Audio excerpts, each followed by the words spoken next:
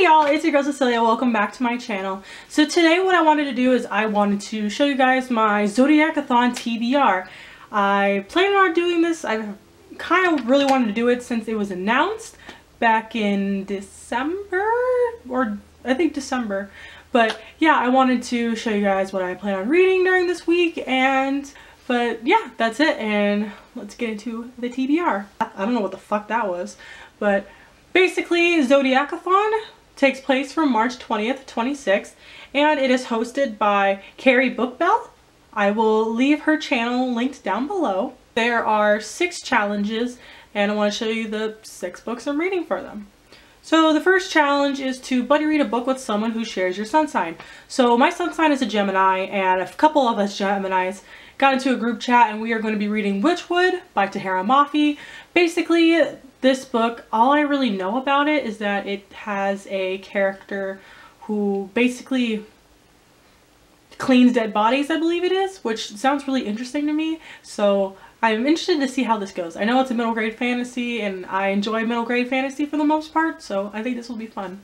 Number two, read a book with an astrology slash astronomy related word in the title. This one I stretched kinda because I wanted to use one of the books I have on my TBR for this month and I'm going to be putting in The Restaurant at the End of the Universe by Douglas Adams because universe, astronomy,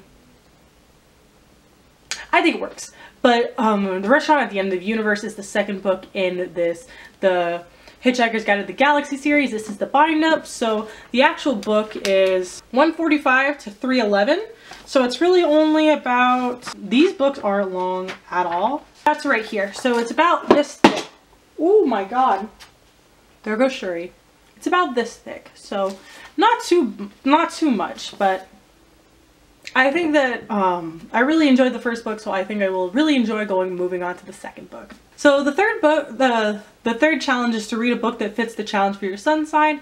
Like I said earlier, I'm a Gemini, so the Gemini's sign challenge is a book that has siblings. So I thought the perfect time to read this, um, this is going to be a perfect time to read this specific book. So I'm going to be picking up Three Dark Crowns by Kendare Blake. This book is a young adult fantasy that takes place, that has basically three sisters and they're all trying to become queen. Each one has kind of their own little quirk.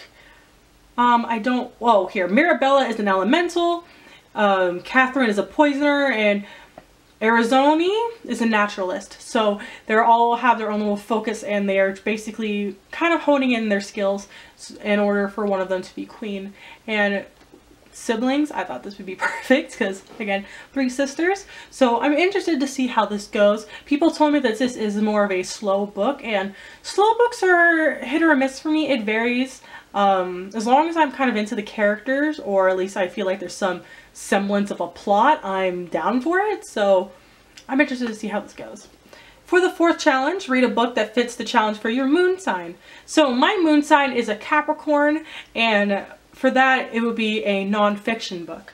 So I have a couple of nonfictions on my sh shelf so I decided to pick the shortest one because you know readathons I want to have them go as well. So I picked up Tender at the Bone, Growing Up at the Table by Ruth Ra Rachel? I don't know. But if you saw my um, mystery book cart haul unboxing thing, I will link it up above.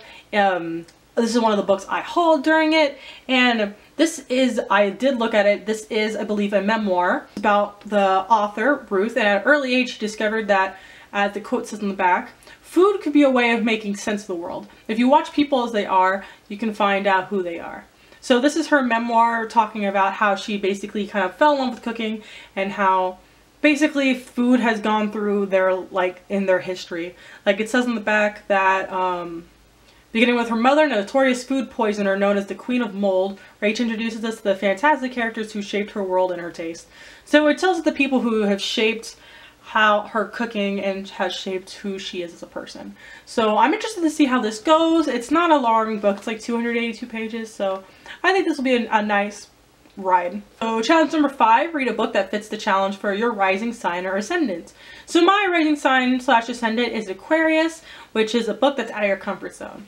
So I used to I used to say this is more mystery thriller, but I think that there's a, there's a genre that I don't like as much, so I'm choosing a classic. I usually don't read too many classics, but this is one that I have on my shelf that I've been wanting to read for a while. And that is Peter Pan by J.M. Barrie. This is the special edition that has a bunch of different like it's kind of like it's interactive and it has a bunch of different like really cool stuff in it so I think that having those aspects into a classic is going to help me read it more plus I really like the story of Peter Pan um, so I'm curious to see how this one differs from the more modern retellings of it and just see how this goes.